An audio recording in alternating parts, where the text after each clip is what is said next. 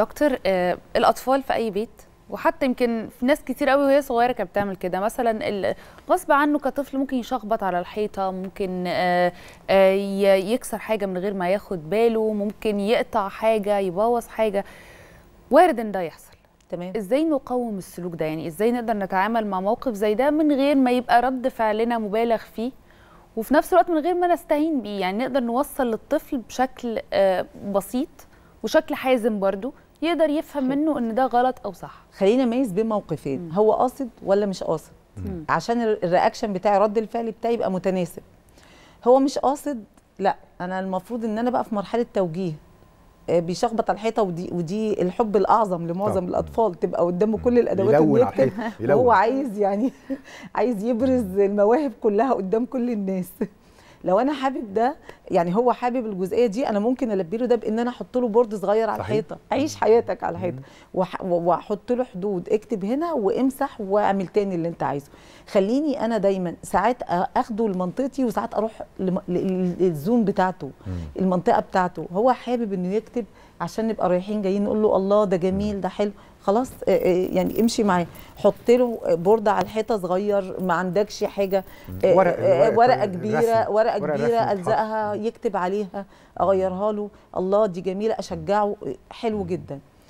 دي هو مش قاصد وعمل أول مرة. لا حبيبي ما تشخبطش هنا. طب خده ونضفها حتى لو هو عنده سنتين خليني أقول برضو. لأن أنا هنا علمته المسؤولية. أنت أخطأت فعليك إصلاحه. وأنا أكون ال- ال- الرد الفعل بتاعي هادي لأنه مش عارف. أول مرة يعمل كده شاف حد بيعمل كده فعمل زيه. فخد نظفها يبقى أنت لو عملت مشكلة أنت اللي هت... أنت اللي هتزيل هذه المشكلة. أنت متحمل المسؤولية. حتى من وأنا قد سنة سنتين آه بيفهم آه والله هو ذكي وده بني آدم. طبعاً. مش مش م... عقله مش منقوص. هو بيقدر يفهمنا كلنا ده حتى من قبل ما يتكلم وهو عنده شهور و- وواعي جدا.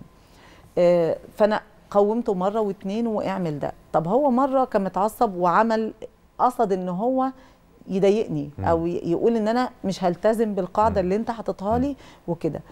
لازم يبقى يعني هنقول رد فعلي أو عقابي بيتناسب مع كونها أول مرة ولا المرة العشرين. آه. آه، ما أجيش من أول مرة أنفجر ويبقى رد فعلي قوي جدا فبالتالي أبقى كسرته كسرته نفسيا يعني. أو ضايقته أو عملت حاجز بيني وبينه أو هو اديت له رسالة إن أنا بكرهك. يعني هو هو بيترجم هو بيترجم المشكلة التعاملات كمان دكتور أمل إنه دايما لما بيحصل غلطة كده حاجة تتكسر بتاع رد فعل الأهالي أو الأب والأم بيتعصبوا بسرعة. يعني دايما آه، طبعا بيبقى حاجات على قد. غلاوة الحاجة. يعني آه، الحاجة. على قد غلاوة حاجة الحاجة اللي قليله عندي. في البيت حاجة في النيش حاجة مثلا. هدية جاية لي آه، أنا بعتز بيها جدا من حد حبيب عليا. آه. بالظبط. إحنا لازم ندير انفعالاتنا. آه. ليه؟ لأن أنا هنا في حاجة اسمها المعيارية. يعني هو آه، أنا بعير بوزن رد فعلي على السلوك اللي هو عمله وهو بيعير السلوك اللي هو بيتصرفه طب أنا عملت حاجة كبيرة قوي وما تعاقبتش عليها. طب أنا عملت حاجة صغيرة قوي وتعاقبت عليها عقاب كبير جدا. فأنا ب... ب... بخلي له المعيارية دي متذبذبة.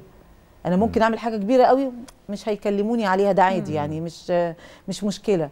وممكن لو عملت كده ممكن الدنيا فإيه ده؟ طب هم إيه القواعد والثوابت اللي عندهم؟ المفروض أعمل إيه وما أعملش إيه؟ طب في الحتة دي بقى فبعمل. له هنا آه. كده تحس إن هو زي ال- البورده كده بعمل له خلل في النظام. طب عشان نفهم أكتر ونقرب الصورة للناس طب أشكال العقاب طبعا العقاب قدامه ثواب كمان لأنه اللي هو ده طبعا، منضبط. وزي ما حضرتك بتقولي بيرتب سريره ترتيب السرير ده هيخليه بعد كده يعرف يرتب أولوياته في الحياة صحيح. وأفكاره. أشكال الثواب أو المكافأة اللي ممكن أقدمها لأولادي إيه؟ وأشكال العقاب والتدرج فيها إيه؟ حلو قوي. آه، في ناس أحيانا بيبقى الثواب عندها مثلا آه، لو أنا طفلي بيقعد على الموبايل ودي حاجة سيئة يعني حاجة سيئة لأنه بتمنعه من مساحة التعلم والاحتكاك بالبيئة والناس اللي حواليه. فأجي أنا عايزة أديله اثابه أقول له إيه؟ بص أنت لو رتبت سريرك أنا هديك الموبايل تقعد عليه ربع ساعة أو نص ساعة. كارثة. أنا كده كارثة. أنا أنا في الواقع عايزة أبعده عنه فأنا مقلله له قعده عليه. فأنا اديته يعني رسالة في ذهنه إن الموبايل ده هو ده المكافأة مكافأة. بالنسبة لك. فأنا عظمت دوره وعظمت مكانته عنده. فهو باصص إن ده بقى هما بيمنعوه عني بس هو جايزة بالنسبة لي عشان أنا بقيت كويس وعملت حاجة كويسة. فلازم الاثابه هنا تبقى ماشية مع مسار أنا عايزة أعلمه إيه. أنا عايزاه يقرأ يبقى الاثابه كتاب. كتاب. مم. أنا عايزاه يحب العلوم أو هو بطبيعته موهوب في قصة العلوم والتحليل والتركيب وإنه يشيل ويحط هجيب له بازل. و- واعلي صعوبة البازل مع الوقت عشان يقدر إن هو سنتين ثلاثة عشر عشرين. هو بقى ماشي معايا في السنوات دي أنا بزود له صعوبة عشان أنمي له قدرات ذكائه. فبالتالي الإصابة هنا تيجي في المسار الأصوب مش الأسهل مم. مش الأكثر حبا ليه. هو بيحب إن هو يقعد على الموبايل فاديله إصابة الموبايل. لا حضرتك خده من المسار اللي انت عايز توجهه منه ان ده سيء وهيضيع له وقته وه... ومش هيعلمه ومش هيديله قيم إيجابية وهيخليه سلبي وهيستقبل بس مش هيرسل ويتفاعل. فما ت... ما, ت... ما توثقش العلاقة بينه وبينه. بالعكس انت عايز تضعفها. فتضعفها في مسارات تانية تعمل تقوية ليها عشان هو. يحصل له كف بالمفهوم النفسي. لا هو هيقل اهتمامه بيه مش هيزيد. فوانا بديله إثابة اديله إثابة في المسار الصح اللي بيخدم على مسار تربيته. آه طب هنروح لجده. لو هو أنا حاسة إن هو يعني منسحب شوية من العلاقات الاجتماعية مش بيشارك. طب هنروح لخالته ونلعب مع أولادها. لو مم. هو شخص انطوائي وأنا عايزاه أخليه يبقى اجتماعي أكتر وإنه بيلعب وإنه بيروح وإنه بيجي.